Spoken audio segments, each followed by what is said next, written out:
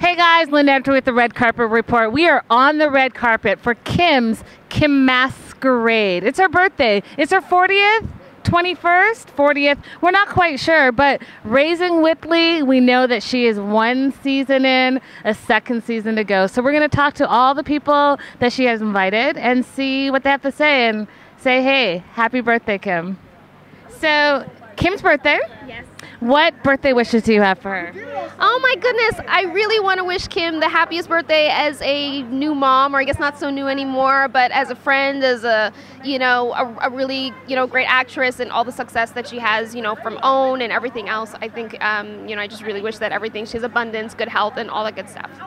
Now, did you see season one of Raising um, Whitley? Did you see season one? I definitely saw it, you know, and I'm so I, I was, you know, when she originally, you know, got uh, Joshua, you know, it was just something that was so special, and you know, I, I watched, you know, most of the episodes, and so yeah, I did. So, what do you think she's going to learn from season one to season two?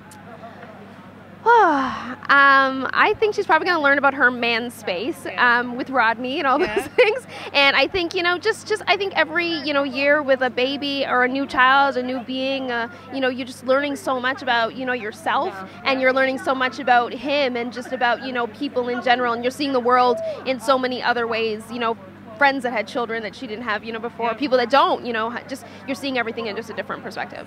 And how long have you known her, and how did you guys meet? Oh wow! Uh, we were at the Sprint store, and I was waiting to get my phone fixed, and she was waiting for hers. And you know, she says, uh, you know, I, you must be an actress because of course I'm all dressed up in Sprint, right? And she's like, uh, you know, um, I need to know whose auntie I'm gonna be playing these days. And I'm like, oh my goodness, you know. So it was really fun, and ever since then, she's been a really great mentor uh, with my, you know, PR and with my career. And you know, I really, really appreciate everything that she's done. I love that. Now, are you on Facebook? Are you on Twitter? Where our viewers can follow your progress? Um, you can always follow me at www.thatmelissa.com. And of course, you can see me at That Melissa on Facebook, Twitter, and all that good stuff. I love it. Have an amazing night. Thank you so much. Okay, guys, thanks for watching.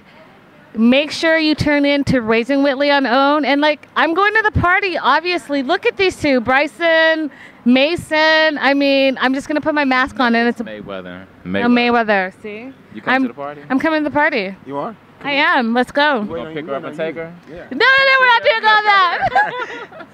Bye, guys. I'm a prude, clearly.